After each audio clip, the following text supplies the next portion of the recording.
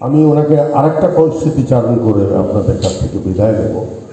সেটা বঙ্গবন্ধু যখন শিশুদের সে আমি একবার দেখেছি ওনাকে।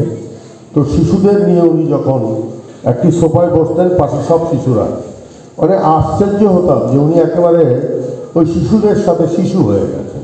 তাদের ভাষায় কথা বলছেন, তাদের সাথে খুনসুটি করা যেটা, সেটা করছেন, এটা একটা বেলুন আসলে উনি আস্তে করে চিমটি দিয়ে ফুটিয়ে দিচ্ছেন। সেই বাচ্চাটার কান্না উপভোগ করছেন। তো এই ছিল বঙ্গবন্ধু। আমি ধন্যবাদ জানাই মানুষ মুজিবুর রহমানের একশো চারতম জন্মবার্ষিকী আমি খোলাখুলি একটি কথা বলতে চাই, আপনাদের অনেকের সঙ্গে আমার মত ডিফার করতে পারে। জাতির জনক বঙ্গবন্ধু শেখ মুজিবুর রহমানের জন্মলে স্বাধীন সার্বভৌম দেশ হিসেবে বিশ্ব মানচিত্রে বাংলার নাম লেখা হতো না। জাতির জনক বঙ্গবন্ধু, জন্ম না হলে আমার সোনার বাংলা আমি তোমায় বাংলাদেশের শিশুরা ভালো আছে। তারা পড়াশোনা করছে, তারা বিনামূল্যে বই পায়। তারা তাদের বাবা মায়ের হাত ধরে স্কুলে যায় এবং একটি সমৃদ্ধ বাংলাদেশের স্বপ্ন দেখছে। কিন্তু গতকালকে পৃথিবীতে অনেক শিশু ইফতার করতে পারেনি। কেউ জানে না তার বাবা কোথায়, মা কোথায়। সে বোম থেকে বাঁচার জন্য সে ছুটে বেড়াচ্ছে। তার এবার তার ঈদে তার কাপড় জুটবে না।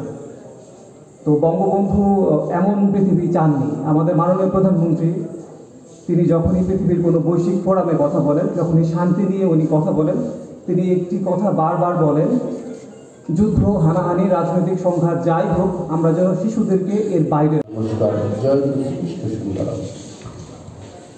ধন্যবাদ জনাব শ্রী সঞ্জয় নন্দ দাস ব্রহ্মচারী।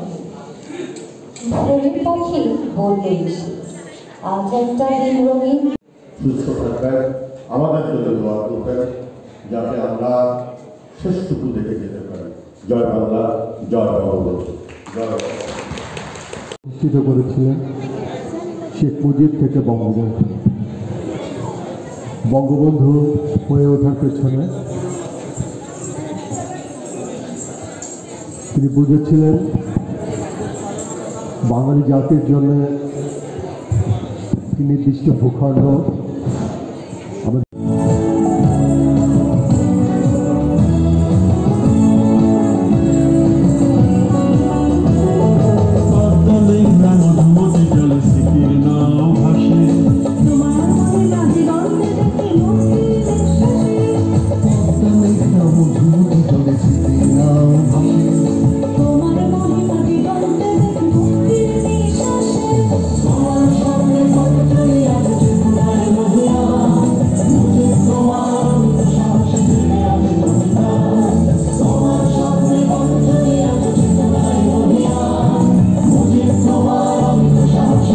Kurtar, kurtar, kurtar, kurtar